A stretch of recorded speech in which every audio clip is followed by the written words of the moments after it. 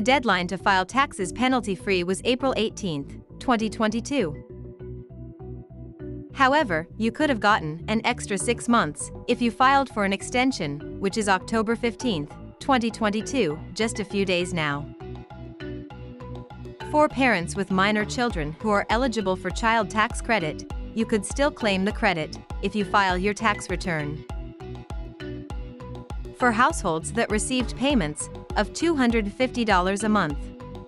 As advanced child tax credits, ACTC, from the IRS, the remainder of their child tax credit will arrive with their refund. Or it can be used to offset owed taxes.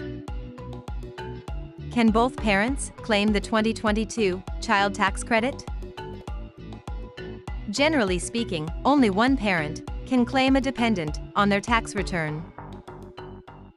Technically, married couples filing a joint return are both claiming the credit, as they share the benefits. If a married couple files separately, one parent can claim half of the child tax credits and split the benefit.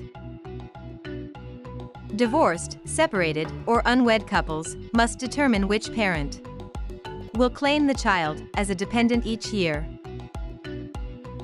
Anyone who claimed a dependent on their 2020 taxes automatically received advance payments, unless they opted out. That means in situations where parents alternate claiming their child. As a dependent each year, both parents may receive the child tax credit this year. However, both parents may not be able to benefit from the credit. If you claimed your child as a dependent in 2020 and received advance payments in 2021, you may be required to return those advance payments. If your co-parent plans to claim the full credit on their tax return.